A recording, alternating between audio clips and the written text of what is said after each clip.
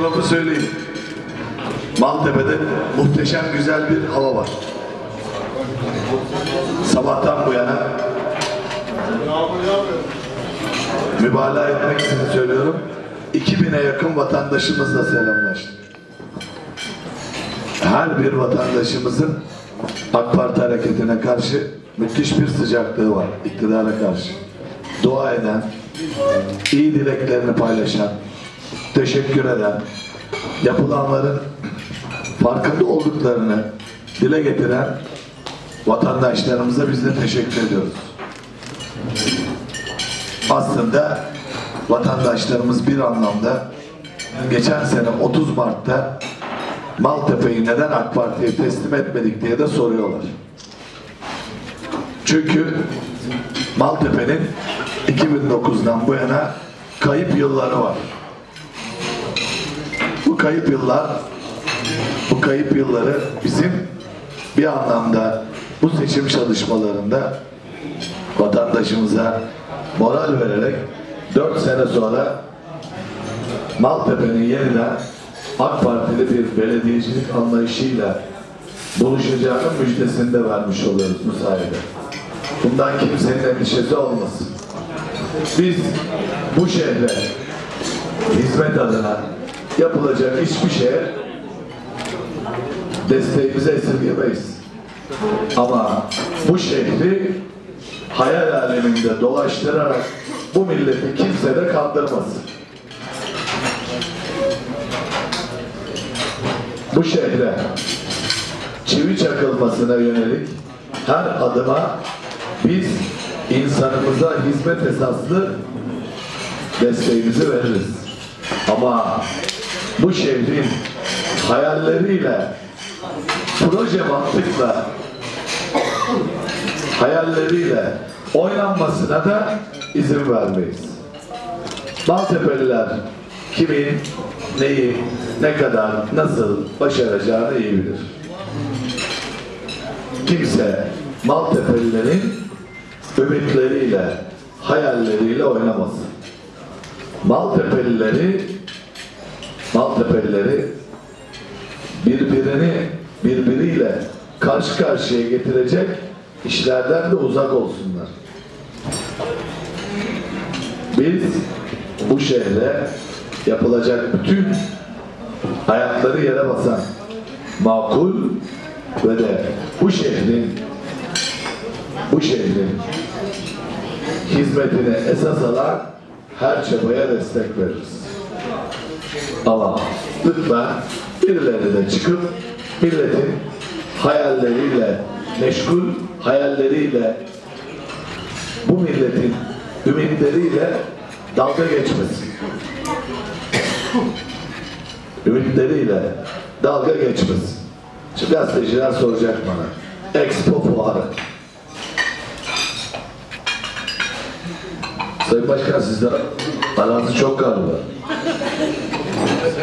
Fındıklı'da okul yapacak yer arıyoruz. Varsa bir 23 milyon kadar okul yapacak. Ama bildiğim kadarıyla fuar alanı için 1 milyon metrekareye aşkın yer lazımmış.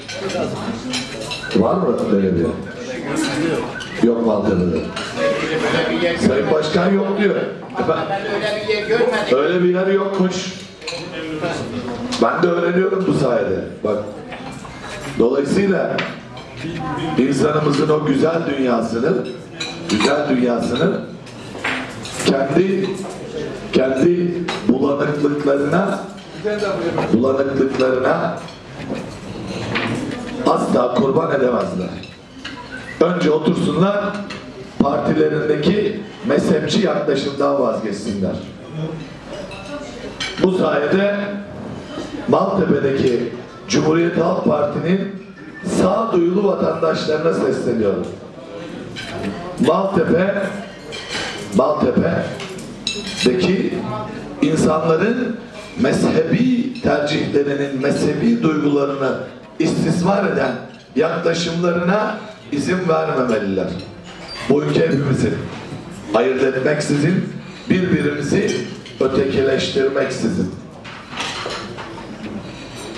Ve Maltepe'deki Cumhuriyet Halk Partisi'nin sağduyulu, bu toprakları seven, bu milleti seven, illegaliteye hayır diyen, illegaliteye hayır diyen, bu ülkeyi bu ülkenin farklılıklarını bir zenginlik bilmek yerine farklılıklarını tahrik ederek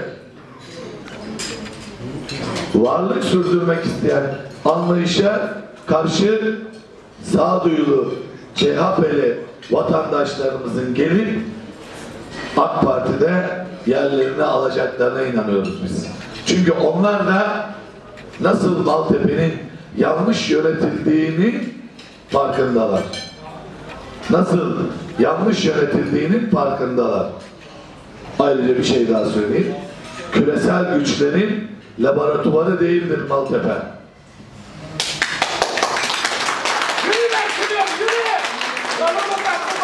Maltepe küresel güçlerin laboratuvarda test yaptıkları şeyin olmayacaktır. Buna da asla izin vermeyeceğiz.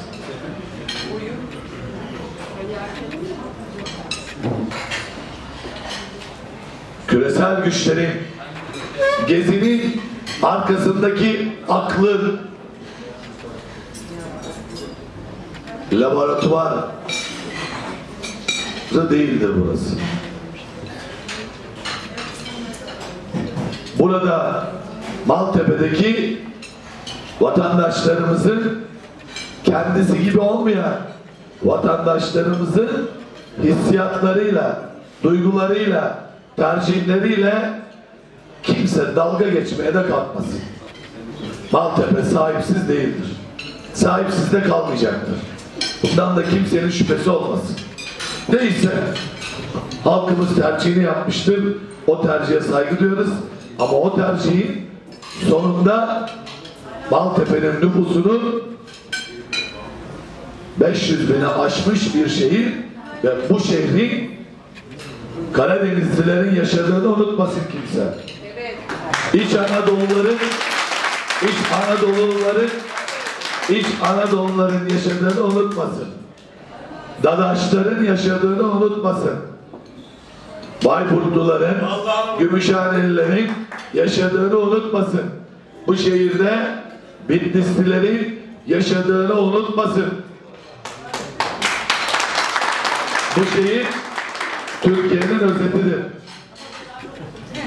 Bu şehirde bu milletin hassasiyetleri üzerinden kimse prim yapmaya kalkmasın. Bu şehir Türkiye'nin özetidir. Türkiye'nin hassasiyetlerini gözeterek nasıl iş yapılıyorsa bu şehirde de Türkiye'nin hassasiyetleri gözetilerek iş yapılmalı. Benim lafım ortaya. Kimse muhatabında değil. Ben vatandaşlar aldığım tepki ve bana vatandaş haklı olarak burayı kaybettiğimiz için hesap soruyor. Hepimize soruyor.